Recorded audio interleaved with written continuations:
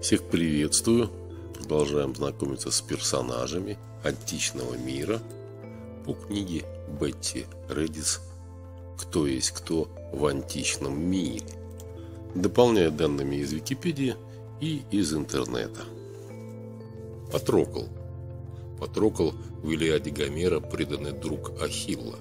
Гомер не говорит прямо, что Ахилл и Патрокл были любовниками – Однако их отношения друг к другу больше похожи на страстную влюбленность, чем на спокойную дружбу.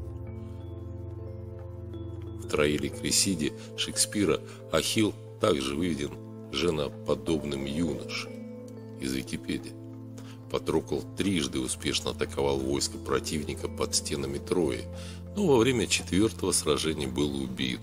Первый удар ему нанес бог света Аполлон, выступавший на стороне троянцев. Затем троянец Эфорб ударил Патрокла в спину копьем, а Гектор добил его смертельным ударом копья в пах и затем снял с героя доспехи и оружие Ахиллеса.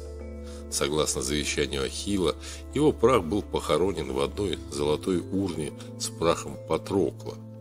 В Аиде его тень неразлучна с Ахиллом.